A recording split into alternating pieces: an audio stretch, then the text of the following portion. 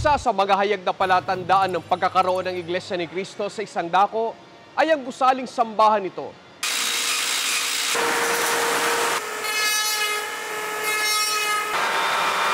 Sa episode na ito ay muli nating babalikan ang INC Construction Support Facilities upang alamin ang kalagayan nito lalo na noong kasagsagan ng pandemya.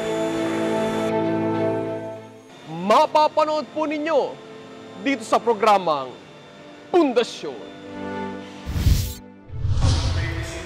Kaagapay ng nagpapatuloy na kilusan sa pagpapalaganap ng mga salita ng Diyos, ang pagpapatayo ng mga gusaling sambahan na isang walang tigil na gawain ng Iglesia ni Kristo.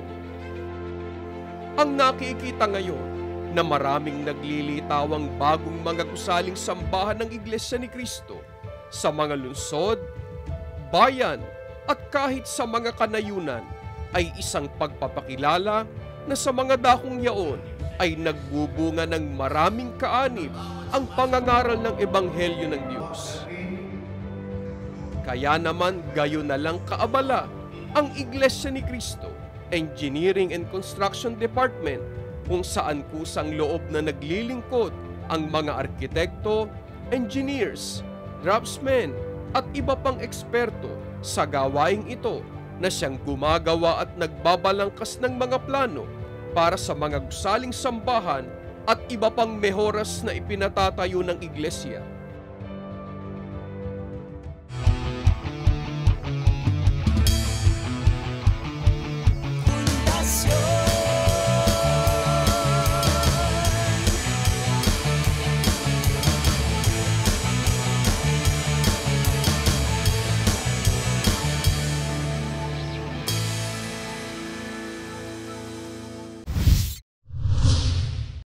Ang Iglesia ni Cristo Engineering and Construction Department ay ang pangunahing katuwang ng pamamahala sa iglesia sa mga itinatayong mga gusaling sambahan saan man panig ng bansa at maging sa ibayong dagat. Katuwang naman ng INC Engineering Department ang construction support facilities na matatagpuan sa bayan ng Rodriguez, lalawigan ng Rizal at formal na binuksan noong September 20, 1998. Ang kahulugan po ng CSF ay Construction Support Facilities. Ito po ay itinatagpo ng pamamahala ng Iglesia ni Cristo bilang pangunahing katuwang ng Iglesia ni Cristo Engineering and Construction Department sa pagtatayo ng mga gusaling sambahan at iba pang mga mihoras nito. Lubhang mahalaga ang ginagampanan ng tanggapang ito para sa pagbuo ng mga gusaling sambahan at iba pang edipisyo na ipinagagawa ng iglesia. Dito po ginagawa ang mga iba't ibang uri ng mga kagamitan, fabricated items na isinasangkap sa mga gusaling sambahan at maging sa mga iba pang mga mehoras ng iglesia. Mass production ang uri ng paggawa at pagbuo ng mga fabricated items o kasangkapan sa CSF kaya lalong bumibilis ang pagtatayo ng mga gusaling sambahan. Ang paraan po ng ating mga paggawa dito sa CSF ay meron pong tinatawag na mass fabrication. Ito po yung mga standards natin na ginagawa. Meron na tayong maramihang ginagawa para kapag ka po tumawag po ang job site o may request na pong dumarating ang job site, ay madali ho nating maibibigay o maiseserve sa kanila yung mga kailangan nilang kagamitan. At meron din namang mga project na bagaman hindi siya mass fabrication kasi ito yung malalaki o naiiba yung kayarian, ay agad din natin na tinutugunan ng mabilisan Depende po doon sa schedule po ng bawat proyekto para hindi ho tayo maatraso. At sa mga takdang mga panahon na dapat po ay maitalaga ang mga proyekto, ay nagagawa po nating matapos ito sa tulong at awa ng ating Panginoong Diyos. Tulad ng iba pang kagawaran ng Iglesia ni Cristo, ang bawat araw ng paggawa ay nagsisimula sa isang panalangin. Kasunod nito, ang paghahatid ng tagubilin at pagsubaybay ng mga tagapanguna sa mga gawaing ipinagpapatuloy o nasimula na at ang pamamahagi ng mga gampaning inaasahang matapos sa buong maghapon.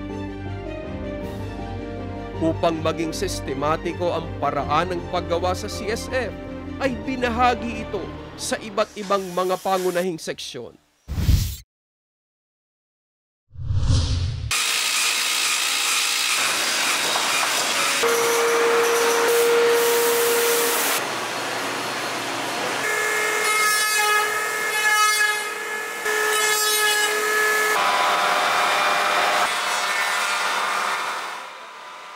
Ah, Kami po ang nangangasiwa sa pangangalaga po sa pagsasaayos ng mga makinarya at mga equipment na ginagamit po dito po sa kabuuan ng ating fabrication.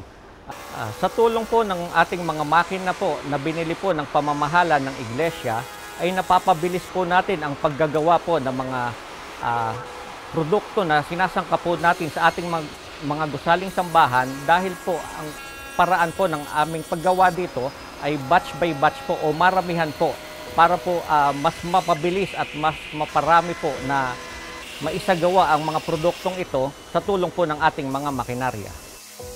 Ang karamihan po sa mga makinang ito ay mga imported na mga makina pa po. At ito po ay aming uh, mini-maintain po. Ah, nagsasagawa po kami ng mga preventive maintenance measures at mga scheduled maintenance para po lalo po itong maingatan sapagkat ito po ay nanggaling sa handog ng ating mga kapatid na ginagamit po nat- natin dito sa pagtatayo ng mga gusaling sambahan. Ang mahalagang gampanin po ng CONSEC o construction equipment, hindi lang naman po construction materials ang idinideliver para sa ating mga proyekto. Maging ang construction equipment po ay aming inihahanda upang maipadala rin sa nangangailangang proyekto na pinadadala po natin sa Luzon, sa Visayas at sa Mindanao. Ang ginagamit po natin ay mga hauler, ang mga truck na amin pong kinakargahan upang madala po sa bawat proyekto na nangangailangan. Sinasabay po natin yan sa pagpapadala ng mga materyales sa mga truck, mga six-wheeler, ten-wheeler at sa mga wing van.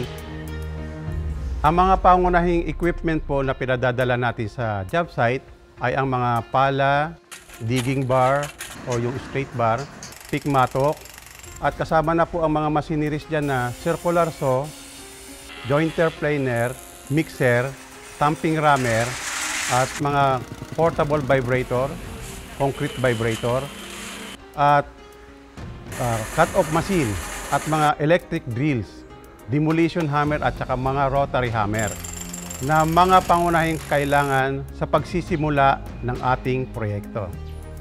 At pag nangangalahati na po ang ating proyekto, ang iahanda naman namin po ay ang mga kagamitan para sa finishing, katulad po ng banso, air compressor, mga finishing sander, at tile cutter.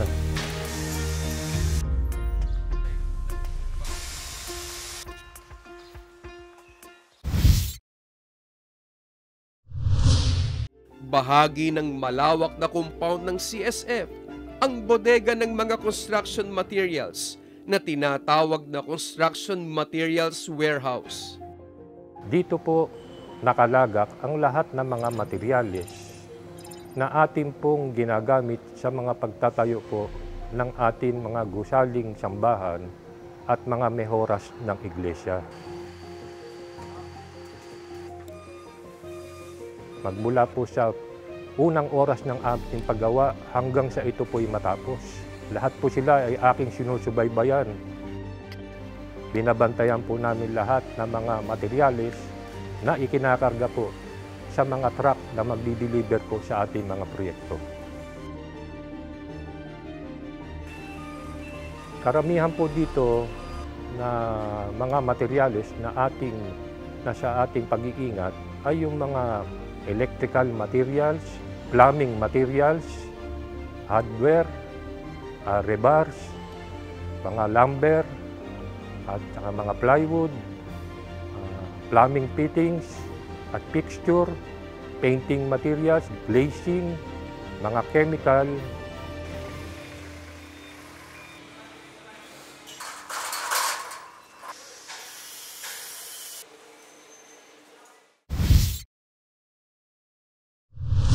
Dito po sa light materials fabrication, kaya po nabanggit po na light materials, ang mga materials po na ating ginagamit po rito, gawa sa kahoy po. Ang department po ng light materials fabrication ay binubuo po ng maraming seksyon. Nandito po ang upholstery, andito po ang carving section, ang carpentry section, sumunod po ay ang tinsmithry, masonry, electrical,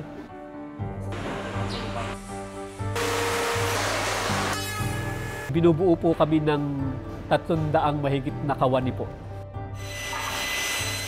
Ginagawa po dito yung mga produkto po ng light materials ay ang mga pulpit chair, card holder, pews, offering chest, panel door, flash door, uh, rostrum, tribuna po, wire railing, front railing.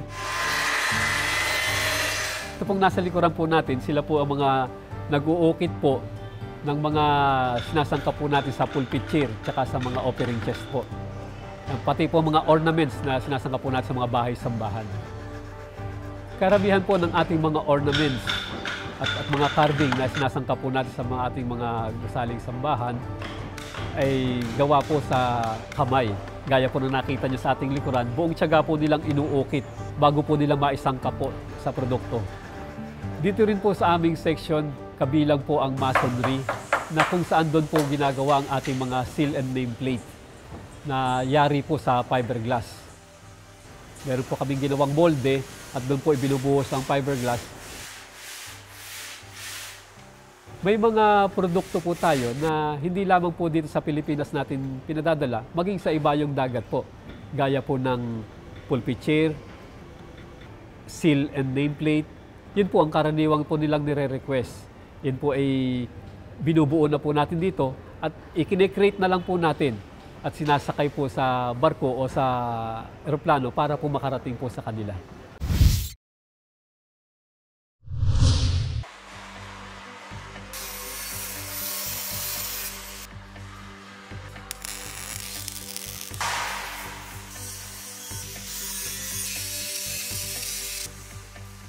Sa Steelworks po, ginagawa po yung ating mga fabricated items po. Gaya po nung ah, water tank, mga railing bracket, yun pong mga grab rail natin sa mga CR, yun pong ating mga hangaran po sa mga dressing room.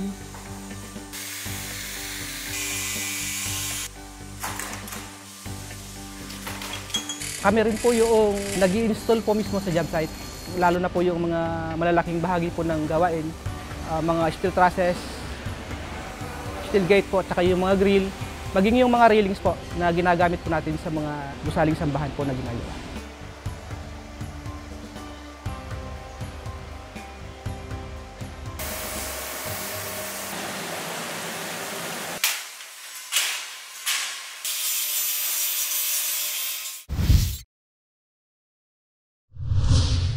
February 14, 2013 ay formal na sinimula ng Engineering and Construction Department ang Manpower Backup Section. Ang pangunahin pong gampanin ng uh, manpower backup ay tugunan yung pangangailangan ng mga lokal at distrito na may kaugnayan po sa kasiraan ng kanilang edipisyo. Binibigyan po namin sila ng uh, detailed estimates kung magkano magugugol kung sakaling i-repair namin, scope of work na kailangan namin gawin sa mga kasiraan para maibalik ito sa kanyang dating ganda at dating tibay. Ang mga flooring po ng ating kapilya kuminsan ay at gusaling sambahan ay patuloy pong naluluma at nagka-crack yung iba dahil po sa movement ng lupa kuminsan at yung iba po ay dahil sa kalumaan na rin ng mga materyales na ginamit nung una. Kaya nagpo-provide po kami ng retiling at yung pong pagpapalit ng mga plumbing accessories and fixtures. electrical services para sa mga lokal na humihiling na ang kanilang gusali, mga gusali ay mai-rewire dahil sa kalumaan kasi ang mga wires po ng ating mga kapilya ay meron din pong expiration date at kailangang bago ang mga wiring para ma-prevent natin ang anumang ikasusunog.